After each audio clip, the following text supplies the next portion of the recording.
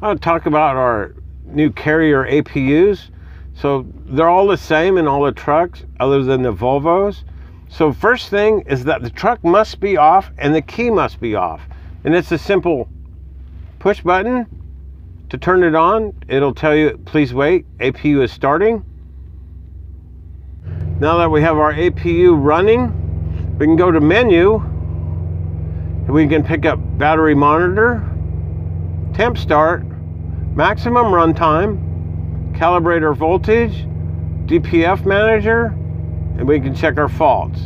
And each truck, each driver can put their own password in there and have it on a timer. So we have a battery monitor, hit the menu, and you'll notice the battery monitor is on, which is also the lightning bolt here. So if we're gonna park the truck for any length of time, turn our battery monitor on, so if we forget to turn the refrigerator off, the APU is automatically gonna start and keep our batteries charged up. Our air conditioning unit, we want the air conditioner. It's simple, one push. Blue dial, we run it all the way down. That's as cold as it's gonna get. And we have our fan controls here.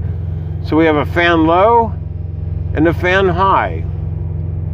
All the units have heat and the, and the temperature control. They are disabled. We can turn it on, but we'll probably fault the unit out because they are disabled. We can go to escape reset.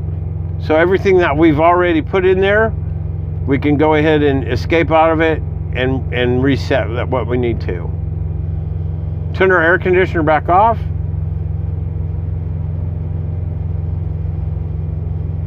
Turn the APU off.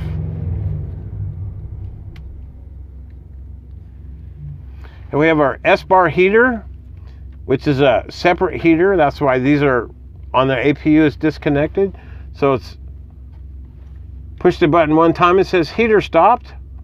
Push the button again, it says heater enabled, and it has a red arrow. This is our temperature control, so we can go hotter or we can go colder. This will run for 10 hours.